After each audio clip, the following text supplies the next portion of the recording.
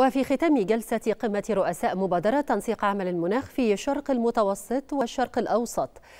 أثنى الرئيس السيسي على جهود المبادرة في تعظيم العمل الإقليمي لمواجهة التغيرات المناخية. وأكد الرئيس عبد الفتاح السيسي استعداد مصر للعمل مع كل أعضاء المبادرة لضمان تنفيذ خطة العمل على نحو يساعد في تعظيم قدرة دولنا على مواجهة تغير المناخ.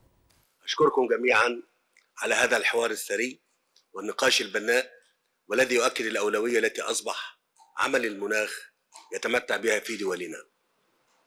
أود كذلك التعبير عن إعجابي بما تم عرضه من خطوات تم اتخاذها بالفعل في إطار المبادرة وبخطة العمل الإقليمية الطموحة الخاصة بها التي تتسق مع مبدأ التنفيذ الذي نركز عليه في قمة المناخ هذا العام.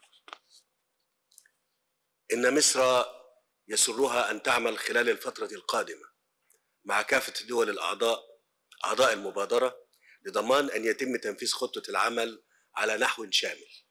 يساهم في جعل دولنا أكثر قدرة على مواجهة تغير المناخ والتكيف مع آثاره السلبية.